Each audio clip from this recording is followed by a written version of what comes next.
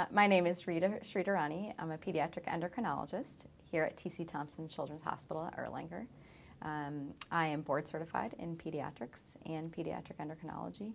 And uh, you know, I specialize specifically in diabetes, growth problems, and thyroid problems for children. So I chose pediatric endocrinology, one, because I just love the kids. You know, I love their laughter, I love their innocence, I love their resilience. Um, and specifically endocrinology because um, one, I had my own personal experience with thyroid issues as a child. And even as a young age, I was very interested in how that whole system worked. And then I also had the unique experience of uh, being able to travel to India as a medical student and work in a hospital there. And I found myself very fascinated with all of the endocrine issues that children had. Um, and I love the fact that we were able to treat most of those. We're, you know, it's a, it's a type of subspecialty that with treatment, we actually see most of the time very good outcomes. And that was something that was really important to me.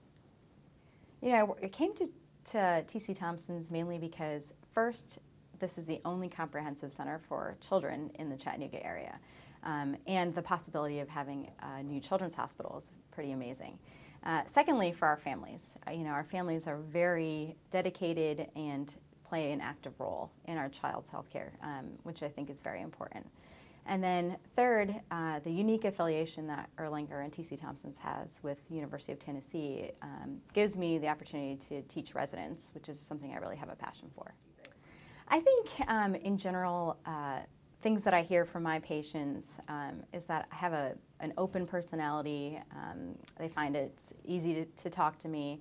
Um, and, you know, in, in being a pediatrician, I think it's great that I have an ability to have a relationship with not just the patient, but the family in general. And that's one of the most important things in um, being a pediatrician.